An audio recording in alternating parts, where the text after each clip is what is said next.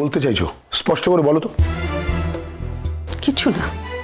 তুমি একটা কথা বলেছ আমি তার সূত্র ধরেই একটা কথা বললাম। ব্যাস আর কিছু না। দেখো তুমি যদি আমাকে মিন করো তাহলে আমি স্পষ্টভাবে বলে রাখছি। আমি কিন্তু কোনোদিন মিথ থেকে সত্যি বলে তার জয়গান গাইনি। মানুষ নিজে কি করে তা কি সে নিজে বোঝে? বুঝতে পারে না। হ্যাঁ এটা তো আমারও আমারও বক্তব্য এটাই এটাই। মানুষ যে মানুষকে কতটা আঘাত দিতে পারে এবং তারপরে সে মানুষটা যে নষ্ট হয়ে যেতে পারে ধ্বংস হয়ে যেতে পারে সেটা মানুষ নিজে করে থোড়ি বুঝতে পারে। এনিবে দেখো তোমার সঙ্গে আজকে আমার ঝগড়া করার সময়ও নেই আর ইচ্ছেটাও নেই। আমি একটু রোদ্দুর আর মহুলের সঙ্গে একটু কথা বলতে চাই। একটা কথা বলো তো তুমি মহুলকে বা রুদ্রকে কতদিন ছিল ওরা তো আমার আত্মীয় একজন আমার ভাইপো আর একজন আমার ভাইপো বউ। তুমি কি ওদের জন্ম থেকে জানো নাকি? হ্যাঁ তা ঠিক। রোদ্দুর আর মহুল, তোমার আত্মীয়, তোমার চেনা। কিন্তু কখনো কখনো মনে হয় না যে কোনো কোনো মানুষকে যাকে আমি জন্ম থেকে চিনি, রোদ্দুরকে দেখলে মনে হয় ও আমার জন্ম থেকে চেনা। আর মহুল ভারী মিষ্টি মেয়ে, ওর ওর পাশে আমার দাঁড়াতে ইচ্ছা করে। সারা জীবন ওকে সাপোর্ট করতে চাই আমি। আমি চাই ওর ওর ভেতর থেকে যত ওর বাসনা, কামনা সবকিছু পরিপূর্ণভাবে বিকশিত হোক। আমি সারা জীবন ওকে সাহায্য করতে চাই পাশে থাকতে চাই। জানি না পারব কি না তবে আমার ইচ্ছেটা শুধু বললাম।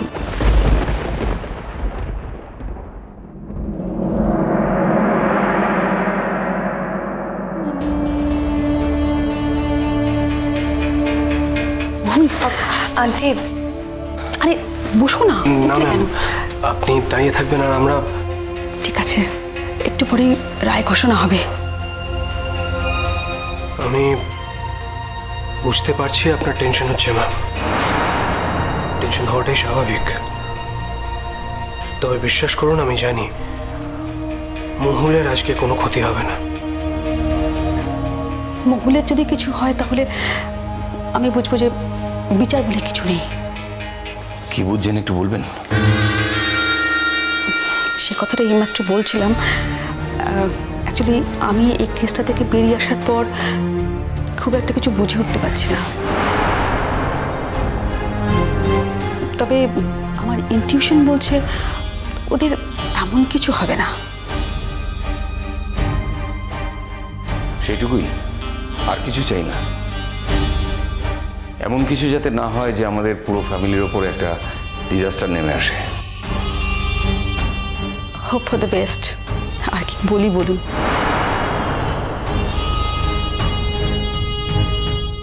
সেই এখন আশা করা ছাড়া তো আর কোনো উপায় নেই। আমি গিয়ে বসে এবারে? অনুরূপও খুব নার্ভাস হয়ে আছে যা বুঝতে পারছি। এত কিছুর পরেও যদি শেষমেশ শাস্তি পায় আমার কিন্তু সেটা ভালো লাগবে না। আমার সেটা খারাপই লাগবে বাবা। অনুরূপের ভালোর জন্যই অনুরূপের শাস্তি পাওয়ার প্রয়োজন আছে। আমি জানি না। আমি জানি না আমার শাস্তি হবে না অনুরূপের। কিন্তু এটুকুনি বুঝতে পারছি।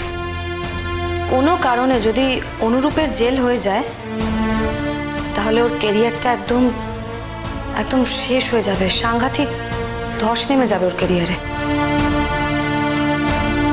নামলে নামবে।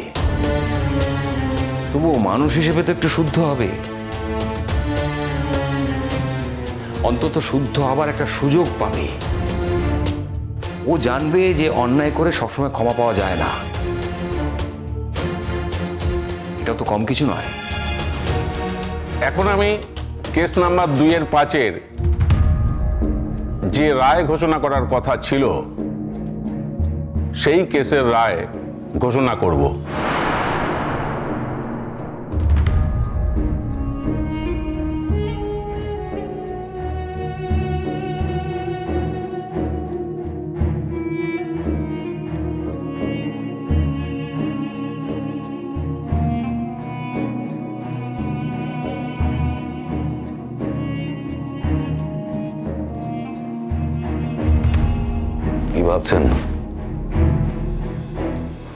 নেই জয় আমাদের হবেই। আপনার কপালের ঘাটা তো এখনও টাটকা। ওরা কিছুতেই কিছু করতে পারবে না। আর আমার কাছে ভেতরে খবর যা আছে তাতে মহুল ঘোষ চলে যাচ্ছে। আপনি শিওর এই যে বলছেন এটা? শিওর হান্ড্রেড পার্সেন্ট গ্যারেন্টি দিতে না পারলেও নাইনটি পার্সেন্ট গ্যারেন্টি আমি দিয়ে বলতে পারি। আর যা হওয়ার ওই টেন পার্সেন্টও হয়ে যেতে পারে না বলছেন? পারে। তাও পারে কিন্তু আমার এতদিনের অভিজ্ঞতার একটা দাম তো দেবেন। তাছাড়া ওরা তো সেরকম কোনো প্রমাণ এখন অবধি দিতে পারেনি। উল্টো দিক থেকে আপনারা তো জোরালো প্রমাণ দিয়েছেন।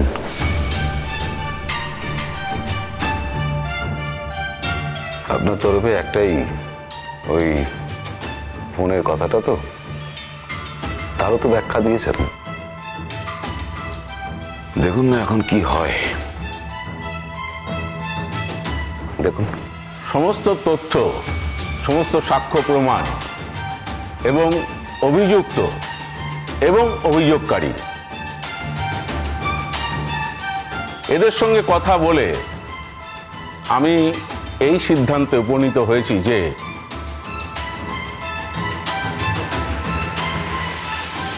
সেই রাত্রে মহুল ঘোষকে আত্মরক্ষার জন্যই বাপি ঘোষকে ইটের টুকরো ছুটতে হয়েছিল। বাপি ঘোষের ইঞ্জুরি মহুল ঘোষের অনিচ্ছাকৃত আত্মরক্ষার জন্যই।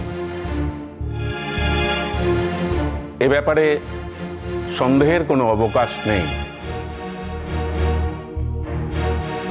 অতএব আমি আমার বিচারে বাপি ঘোষকে ছ মাসের কারাদণ্ড ঘোষণা করছি।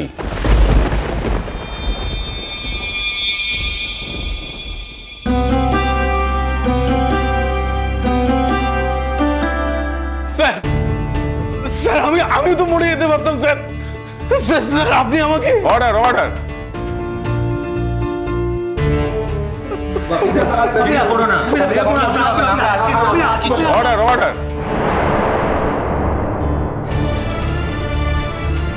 আমি রায় ঘোষণার সময় কোনো বিঘ্ন পছন্দ করি না। আমি আবারও বলছি, বাপি ঘোষ বারংবার মিথ্যে কথা বলেছেন। এবং তার সঙ্গীরাও মিথ্যে কথা বলেছেন। শুধু মিথ্যে কথা বলাই নয়, তারা আদালত কক্ষকে ভুল পথে চালিত করেছেন বারবার। সেই ব্যাপারে আমি বাপি ঘোষের সঙ্গী চন্দন ব্যানার্জি অমিত মণ্ডল, প্রভাত সরকার, আরব সরকার এবং অভিরূপ দেকে ছ মাসের কারাদণ্ডে দণ্ডিত করলাম। অর্ডার অর্ডার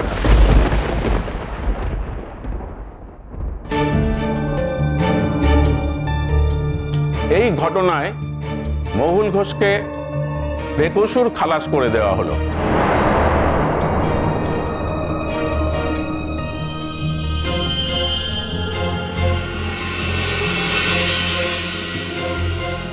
একজন মানুষ তার আত্মরক্ষার জন্য যা যা করা সম্ভব ছিল, তিনি তাই করেছেন। তাকে মিথ্যে কথা বলে একটা ভুল জায়গায় নিয়ে যাওয়া হয়েছিল। সেই জায়গায় গিয়ে তিনি বিপদে পড়েছিলেন বলেই তিনি আত্মরক্ষা করতে বাধ্য হয়েছিলেন। বিচার কক্ষ এতে তার কোনো দোষ দেখেনি। তিনি বেকসুর খালাস। সত্যের জয় হয়েছে সত্যের জয় হয়েছে। এ তুমি টেনশন করছিলে তো দাদা আমি তো বলছিলাম কিচ্ছু হবে না। তুমি দেখো ঠিক হয়ে যাবে।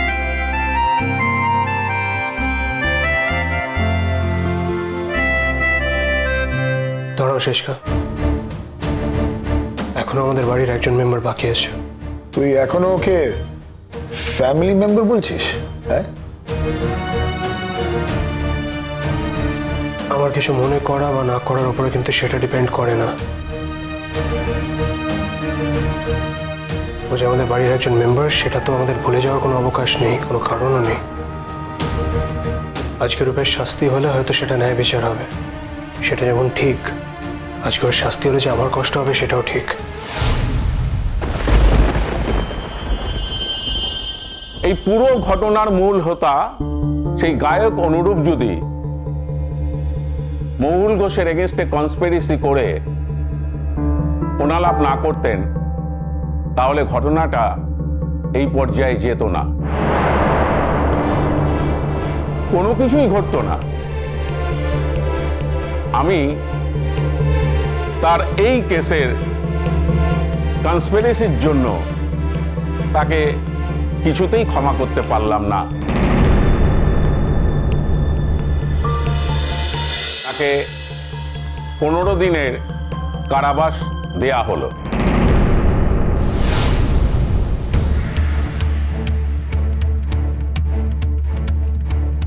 আশা করি এ থেকে তিনি ভবিষ্যতে শিক্ষা নেবে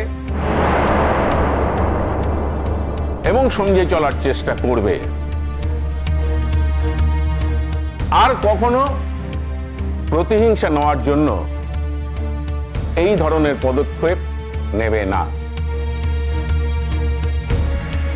আমি আবার এও বলছি, যিনি সুকুমার কলার চর্চা করেন, তার সঙ্গে এই আচরণ মেনে নেওয়া যায় না।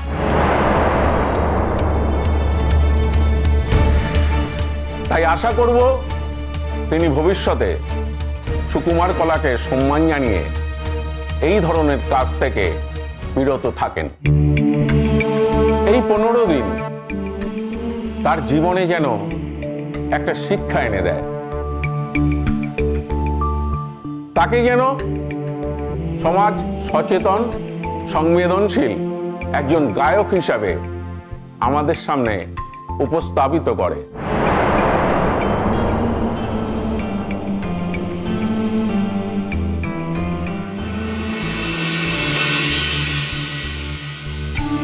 আজকের রায় ঘোষণা এখানেই শেষ। কোর্ট আজ এখানেই স্থগিত হলো।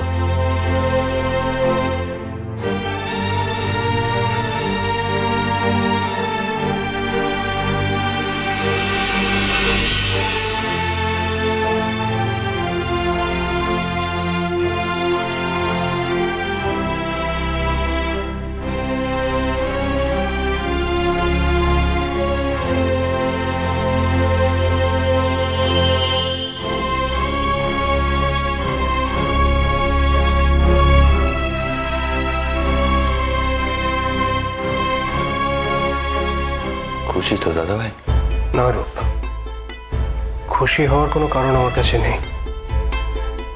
আমার বরং কষ্টই হচ্ছে। আমি তো কোনোদিন চাইনি যে আমাদের আমাদের বাড়ির মধ্যে এরকম একটা সিচুয়েশন আসুক। এরকম কিছু তোর সঙ্গে হোক আমি তো স্বপ্নেও ভাবিনি। আমি জানি আমার কোনো কথাই তোর এই মুহূর্তে বিশ্বাস হবে না। দাদা ভাই আর কিছুক্ষণের মধ্যে পুলিশ আমায় জেলে নিয়ে যাবে। মনে হয় মহুলকে নিয়ে তো বাড়ি চলে যাওয়া উচিত। সেলিব্রেট করা উচিত। সেলিব্রেট করা উচিত।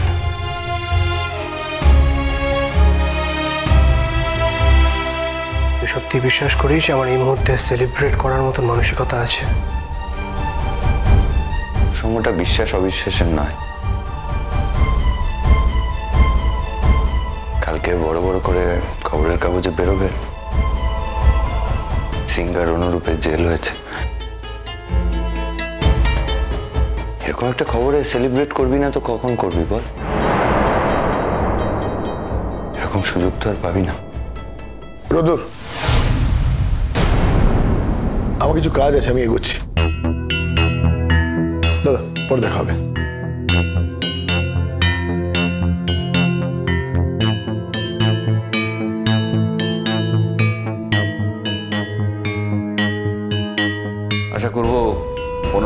পরে তুই একটা অন্য মানুষ হয়ে ফিরবি। তোর জন্য আমাদের দরজা খোলা থাকবে। তবে এই অনুরূপের জন্য নয়। পনেরো দিন পরে আমরা যে অনুরূপকে দেখতে চাইব, সেই অনুরূপের জন্য। রদুর, আমাদের বেরোতে হবে।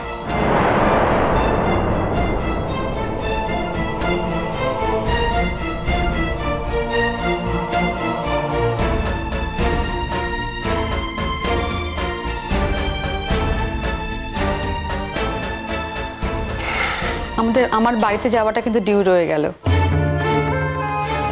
আর কিন্তু না শুনব না। আমার বাড়িতে কিন্তু একদিন আসতেই হবে তোমাদের। কি আশ্চর্য।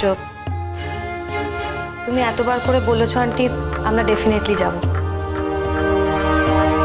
আমরা ঠিক চলে আসব আপনি একদম চিন্তা করবেন না। আমাকে আপনি না বললেই নয়? বেশ ম্যাম। আস্তে আস্তে অভ্যেস হয়ে যাবে। সোনাঝুরি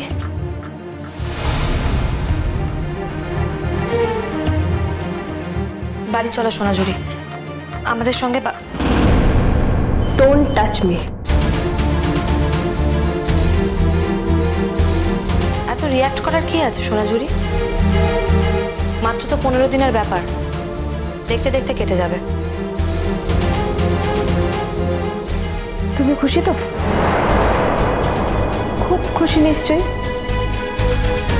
আজকে তো তোমরা বাড়িতে সেলিব্রেট করবে। কি আশা করছ? আমিও তাতে যোগদান করব? দেখো সোনাঝুরি, আমরা কেউই অতটা খারাপ মানুষ নই। বা কেউই এত আনন্দ করতে পারব না। অনুরূপের জন্য আমাদের সবারই খুব খারাপ লাগছে। কিন্তু তুমি একবার ভেবে দেখো। অনুরূপ তো বিচারককে নানান রকম কথাই বলেছিল। কিন্তু বিচারকের যেটা ঠিক মনে হয়েছে, উনি সেটাই করেছেন। তবে আমারও বিশ্বাস, এটা আমি বিশ্বাস করি। আজকের অনুরূপ আর পনেরো দিনের পরের অনুরূপ অনেক তফাত হবে।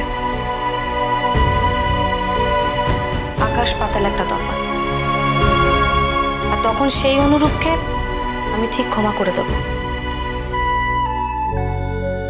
তুমি দেখো আমি কোনো রাগ পুষে রাখব না আমার মনে। যাই হোক, এখন বাড়ি চলো আমাদের সাথে। তোমরা যাও, আমি তোমাদের সাথে যাব না। ঠিক আছে, যেও না। তাহলে আমরা এগোই নাকি? এগো চল ম্যাম আসছি চলো আমিও যাচ্ছি হুম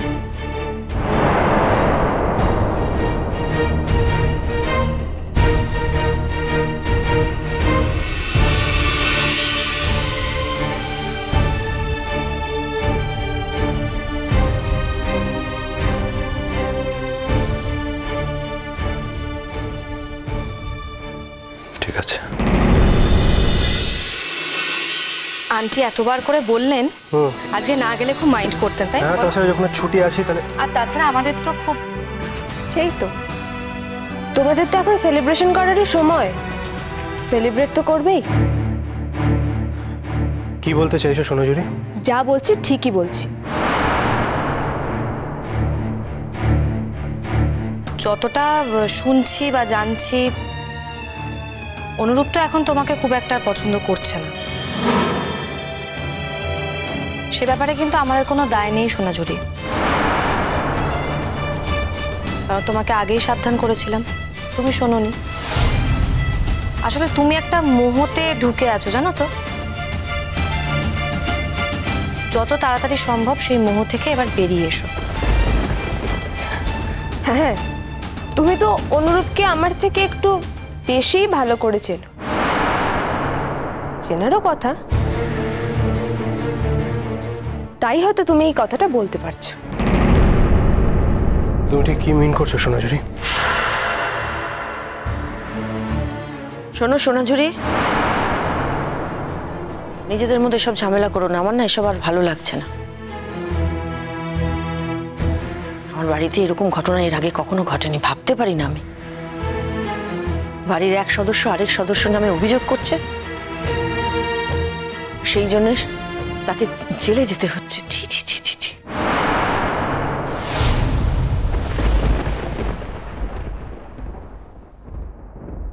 যখন অনুরূপকে দরকার ছিল ওর দিকে মুখ ফিরিয়েছিলে? আর যখন প্রয়োজন মিটে গেছে তখন ওকে জেলে পাঠিয়ে দিয়েছ? Shut up Sonajhuri. একদম ধমকে কথা বলবে না।